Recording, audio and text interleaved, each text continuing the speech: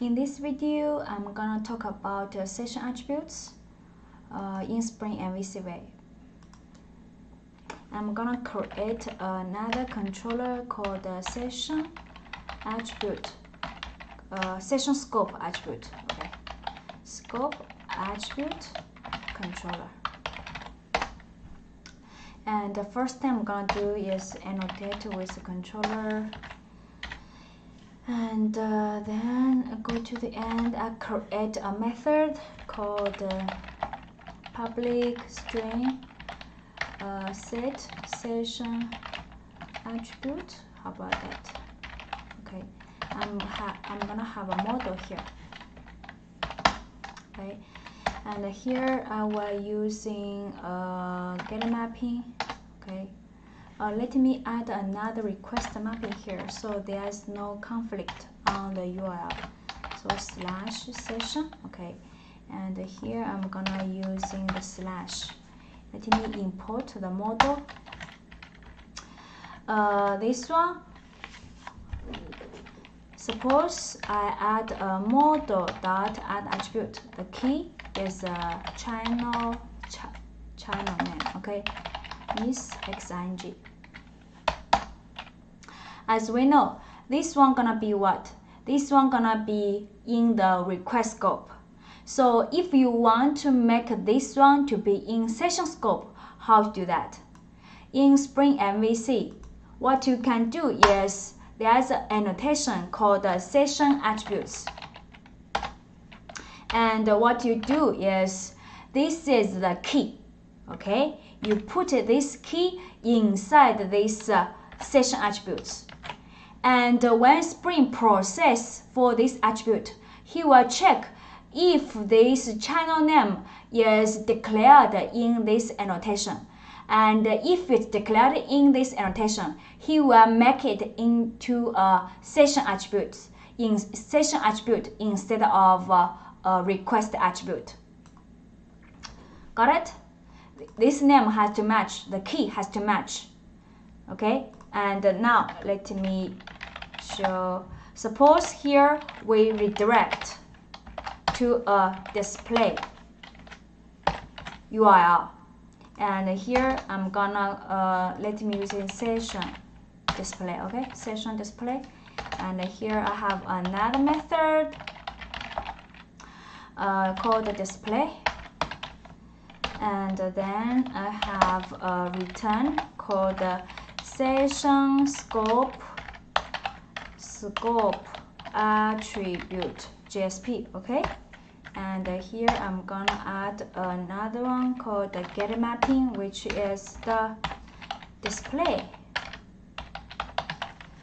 Uh, here show you one more thing because here I add a request mapping on top of the controller. So when you want to redirect to this URL you have to using session display. If it, if you only wrote display it won't work okay? And now let me create the session attribute uh, JSP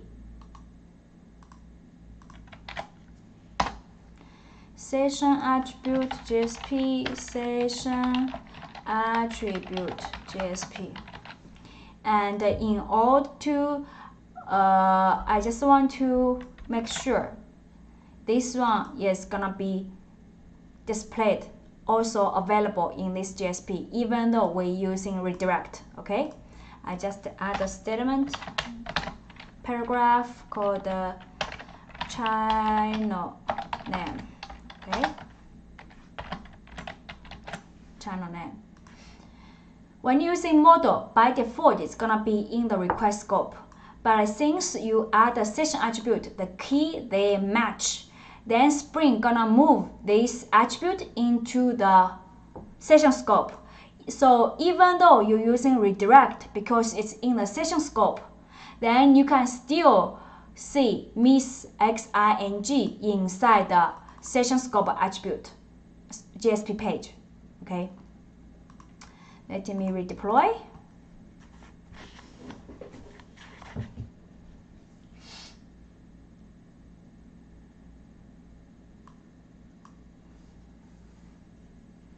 Yes, it is successful I think it deployed successful.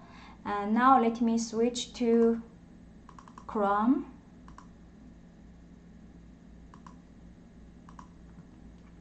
And uh, I have to make a call to session SESS session slash right?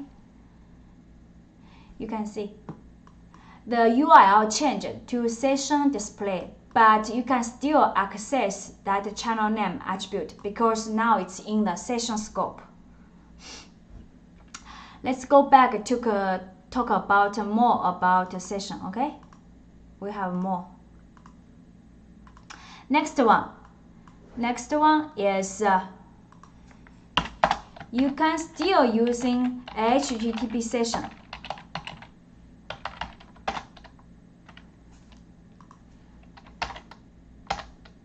Okay, and then you can using session dot set attribute, which this one is uh, let's call author name.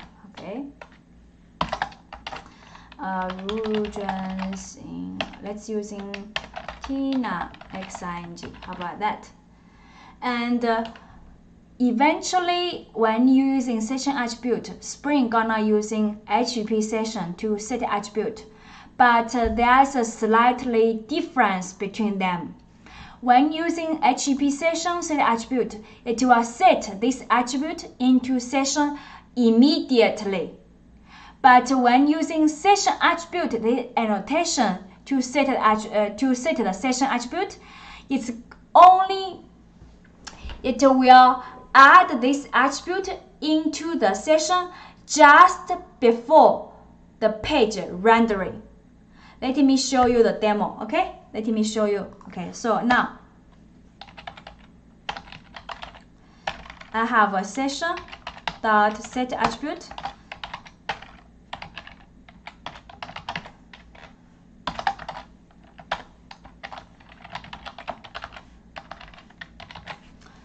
So here, this is I set using Spring Array session attribute and uh, session attribute. Again, this statement runs before this statement, right? And they have exactly the same key. So if we don't know how Spring does, probably we will think thank you we will override miss xing. But the case is not the what I talk about. Let me run. You will still see miss ing, uh, miss xing, not thank you. Okay, deploy successfully. Switch to uh, browser. And I'm gonna make a call to session slash. Okay you still say miss xing instead of thank you. What's the problem? What's the problem? Even though this one is set before, uh, this one is kind of like an override, it's not.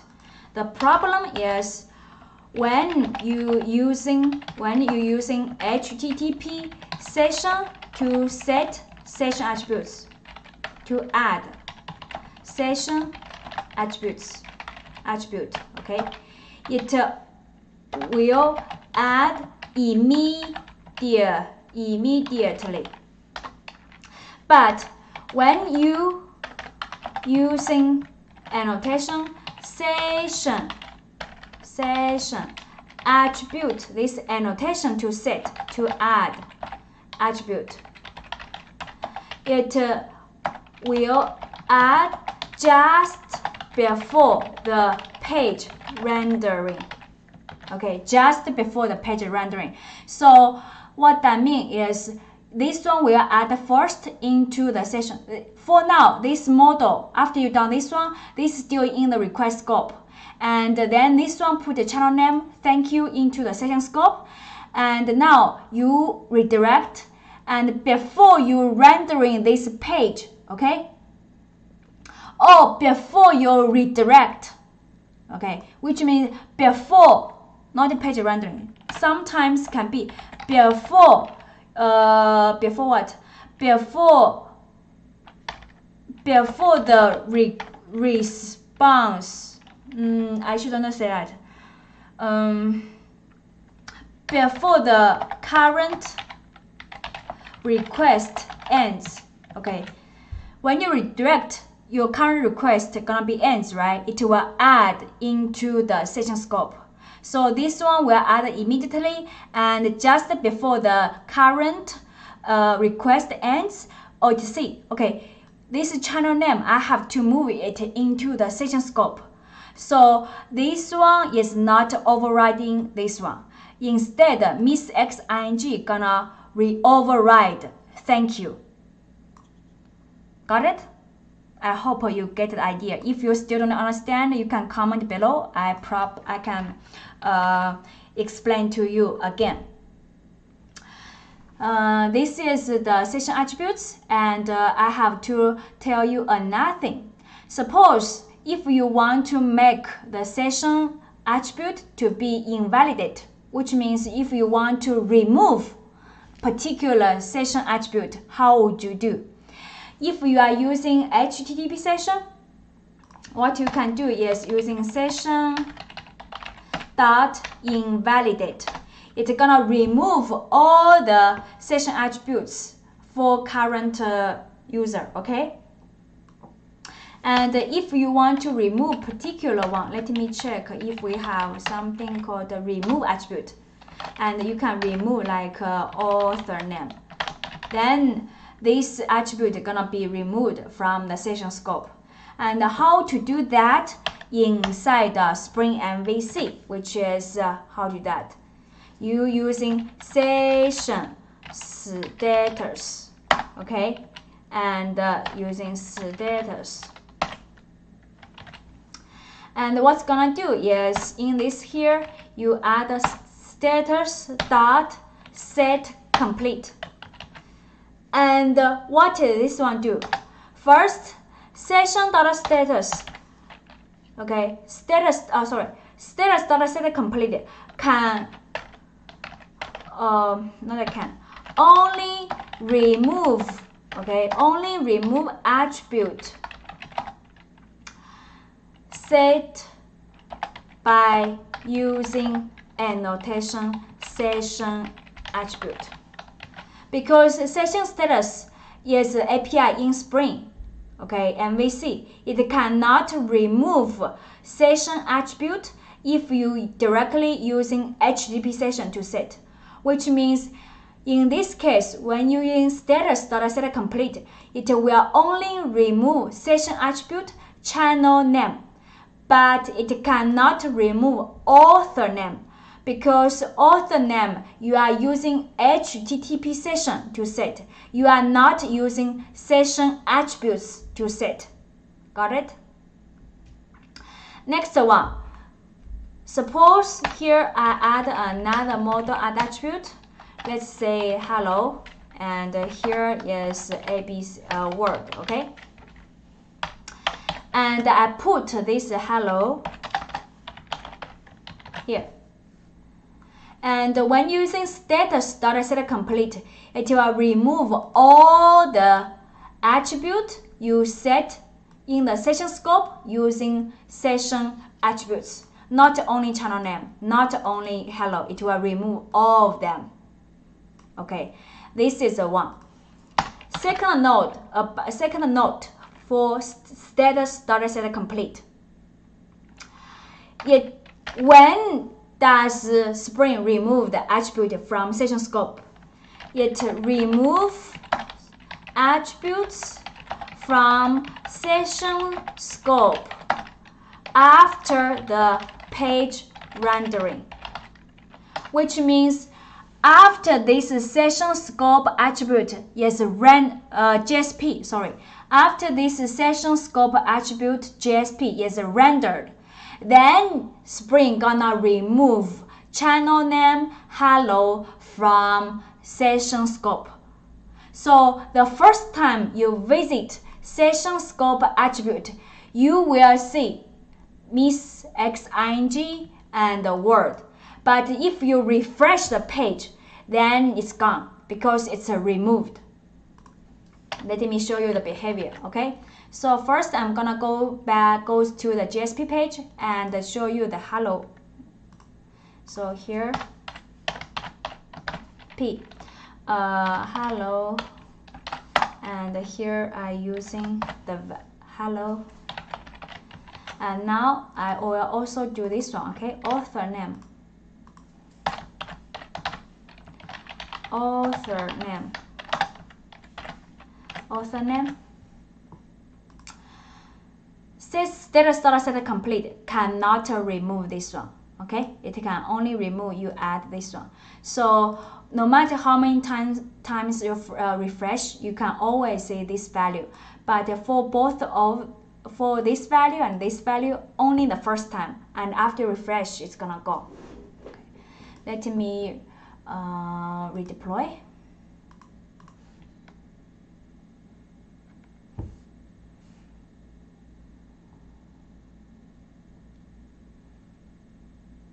Okay and uh, I have to switch to browser.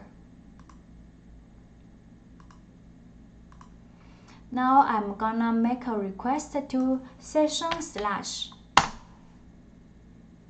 This is my first time to visit current page okay? You will see Miss xing is set using session attributes annotation okay? Word is also and this author name is using http session now let me refresh the page.